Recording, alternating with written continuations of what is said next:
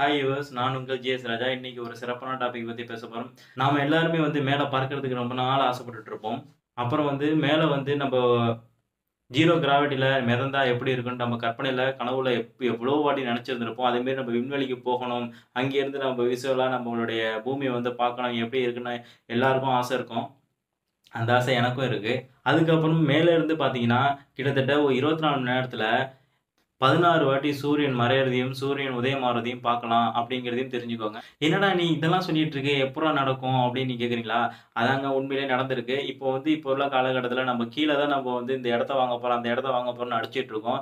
எல்லாத்துக்கும் முந்திரி கொட்டையாக முந்திட்டு போகிற அமெரிக்கா தான் இதையும் சீக்கிரம் முந்திட்டு செஞ்சிருக்கு. என்னன்னு கேட்டிங்கன்னா ரெண்டாயிரத்தி பதினெட்டில் அவங்க சொன்ன மாதிரி மேலே வந்து ஒரு சொகுசு ஹோட்டல் ஒன்று கட்ட போகிறேன்னு சொல்லிட்டு ரெண்டாயிரத்தி பதினெட்டில் வந்து அவங்க சொல்லியிருந்தாங்க. அதே மாதிரி இப்போ வந்து இப்போ உள்ள ஒரு அப்டேட் படி என்ன ஆச்சு அப்படின்னா இப்போ ரீசெண்டாக வந்த ஒரு நியூஸ் படி அவங்க வந்து ஆல்மோஸ்ட் முடிச்சிட்டாங்க. என்ன முடிச்சிட்டாங்க? ஏது முடிச்சிட்டாங்க? என்னடா ஒன்றுமே புரியல. கரெக்டாக புரியுற மாதிரி சொல்டா அப்படின்னு கேட்குறீங்களா ஆமாங்க. இன்றைக்கி வந்து நம்ம என்ன பார்க்க போகிறோம்னா மேலே ஒரு ஒரு சூப்பரான ஒரு ஹோட்டல் ஒன்று கட்டிகிட்டு இருக்காங்க. அதை பற்றின ஒரு தகவல் தான் இந்த தகவல். என்னென்ன வசதிகள் இருக்குது என்னென்ன பண்ணலாம் என்னென்ன ஏது அது பண்ணக்கூடாது அதுக்கு எப்படி போகணும் அப்படிங்கிற எல்லா டீட்டெயிலும் இந்த வீடியோ பார்க்க வரும். இந்த வீடியோ பார்க்குறதுக்கு முன்னாடி நீங்கள் இன்னும் என் சேனல் சப்ஸ்கிரைப் பண்ணலாம் சப்ஸ்கிரைப் பண்ணுங்கள் லைக் பண்ணுங்கள் ஷேர் பண்ணுங்கள் கமெண்ட் பண்ணுங்கள் வாங்க நம்ம வீடியோக்குள்ளே போயிடலாம். அதுக்கப்புறம் நம்ம ஃபஸ்ட்லேருந்து ஒவ்வொன்றா பார்க்க ஆரம்பிச்சிருவோம்.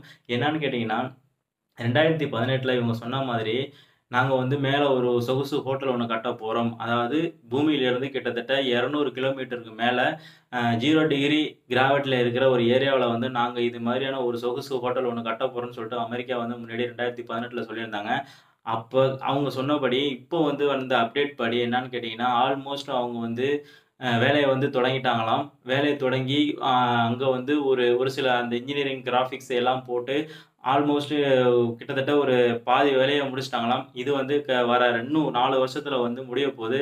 நாலு வருஷம் அப்படின்னு பார்த்தீங்கன்னா ரெண்டாயிரத்தி இருபத்தஞ்சில் ஆல்மோஸ்ட் ஃபுல் அண்ட் ஃபுல்லாகவே கம்ப்ளீட் பண்ணிவிடுவாங்களாம் ஆனால் கம்ப்ளீட் பண்ணி முடிச்சும் அவங்க வந்து நம்மளுடைய இந்த பொதுமக்கள்லாம் அவங்க போயிட்டு விசிட் பண்ணணும் அப்படின்னா ரெண்டாயிரத்தி இருபத்தி ஏழில் அது அதுக்கப்புறம் நாலு வருஷத்துக்கு முடிஞ்சதுக்கப்புறம் இன்னும் ரெண்டு வருஷம் கழிச்சு தான் இவங்க நம்மளுடைய சாதாரண ஒரு மனிதர்களுக்கு வந்து மேலே போயிட்டு அந்த இடங்கள்லாம் சுற்றி பார்க்க முடியும் அங்கே தங்க முடியும்னு சொல்கிறாங்க அதுக்கப்புறம் சாதாரண மக்கள் வந்து அந்த இடத்துக்கு போகணும் அப்படின்னா அவங்களுக்கு வந்து முன்னாடியே அவங்களுக்கு வந்து விண்வெளியில் என்ன பண்ணணும் ஏது பண்ணணும் எப்படி எப்படிலாம் அங்கே வந்து ஆக்டிவிட்டிலாம் பண்ணணும் அப்படிங்கிற ஒரு ட்ரைனிங் வந்து மூணு மாதம் வந்து கொடுத்து தான் அவங்கள வந்து அழைச்சிட்டு போவாங்க அப்படிங்கிறதையும் தெரிஞ்சுக்கோங்க. அது மட்டும் இல்லாமல் அங் அந்த ஹோட்டலில் என்னென்ன சிறப்பு அம்சங்கள் அப்படின்னு பார்த்தீங்கன்னா அங்கே வந்து மிகப்பெரிய ஒரு சினிமா தேட்டர் ஒன்று கட்டியிருக்காங்களாம். அதுக்கப்புறம் வந்து மசாஜ் சென்டரு அதுக்கப்புறம் பப்பு இந்த மாதிரியான விஷயங்களை அந்த சொகுசு அதாவது நம்மளுடைய நம்ம எவ்வளோ எவ்வளோ என்ஜாய் பண்ண முடியுமோ அந்த அளவுக்கு வந்து கிரியேட்டிவிட்டியாக அவங்க வந்து கட்டிகிட்டு இருக்காங்க அப்படிங்கிறதையும் தெரிஞ்சுக்கோங்க. அது மட்டும் இல்லாமல் ஒரே நேரத்தில் கிட்டத்தட்ட ஒரு நானூறு பேர் தங்கக்கூடிய வசதி ரூம் வசதிகளும் அவங்க வந்து கட்டியிருக்காங்க அப்படிங்கிறதையும் தெரிஞ்சுக்கோங்க. அது மட்டும் இல்லாமல் இதை வந்து கட்டுறதுக்கு ரெண்டாயிரத்தி பதினெட்டில் அவங்க சொன்ன மாதிரி அறுபத்தோரு அறுபத்தோரு கோடி ரூபாய் இந்தியன் மதிப்புப்படி நம்ம இந்தியன் மதிப்புப்படி அறுபத்தோரு கோடி ரூபாய் செலவு ஆகும்னு சொல்லியிருக்காங்க. ஆனால் இவ்வளோ இப்போ வந்து எவ்வளோ செலவாயிருக்கு அப்படிங்கிறது ஒரு அப்டேட் இன்னும் வரல. அது வந்தாக்கா நம்ம வந்து அடுத்த வீடியோவில் நம்ம பார்ப்போம்.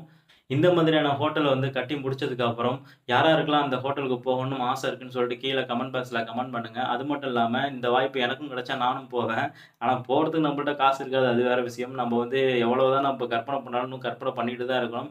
அதெல்லாம் பெரிய பெரிய ஆட்கள் அவங்க காசு இருக்கிறவங்க எல்லாரும் போவாங்க. நம்ம வந்து கனவுலேயே நம்ம போயிட்டு வந்துப்போம். ஏன் என்னடா இரநூறு கிலோமீட்டர் தான் அவங்க போகிறாங்க நம்ம வந்து செவ்வாக்கிரணத்துக்கே நம்ம கனவுல போயிட்டு வரலாங்கிறது எல்லாருக்குமே தெரியும். அதனால் இந்த மாதிரி விஷயம் ஒன்று நடக்குது. இது எல்லாருக்கும் தெரியணுங்கிறதுக்காக தான் இந்த வீடியோ பதிவு பண்ணுறேன் இந்த வீடியோ பிடிச்சிருந்தா நீங்கள் லைக் பண்ணுங்கள் அதுக்கப்புறம் வேறு ஏதாவது பற்றி நான் டாபிக் பற்றி பேசணும் அப்படின்னு நீங்கள் நினச்சிங்க அப்படின்னா அதையும் கீழே கமெண்ட் பாக்ஸில் லீவ் பண்ணுங்கள் உங்களிடம் விடைபெறுது ஜிஎஸ் ராஜா. தேங்க்யூ